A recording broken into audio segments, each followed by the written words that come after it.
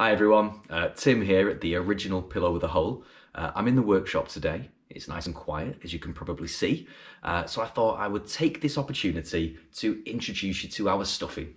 Uh, we often receive emails asking what's inside our pillows and why do we use it. Well, what better way to show you than to put it on video? So without further ado, let me introduce you to our brilliant proprietary stuffing, coil fibre.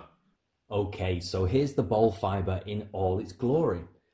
Now, as you can see, it's made up of lots of little tightly coiled balls of polyester. Now, the advantage of something like ball fibre over something like memory foam um, is that it's very voluminous, very springy, and very permeable. As you can see, there's lots of space in between the coils that allows air to flow and allows for or provides for a cooler sleeping experience, whereas memory foam tends to be quite dense and quite hot in the night.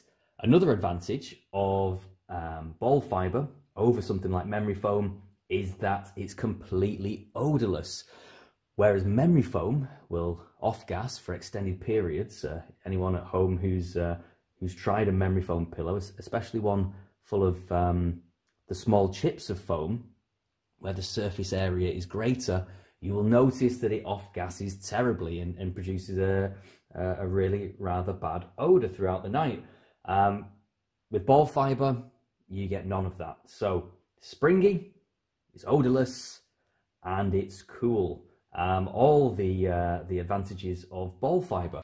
We think it's great, and we stuff our pillows generously with it. So when you first get your pillow, uh, you might notice that it's a little firm. That's because we've put plenty of ball fibre in there for you to experiment with it. So just to unzip the pillow, take a little bit out, fluff it up, and you will get a gloriously soft pillow just as you like it. So, um, so there we are.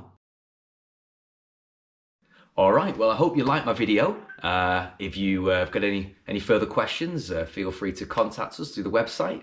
Uh, we're here to help anytime. So, um, all right, take care.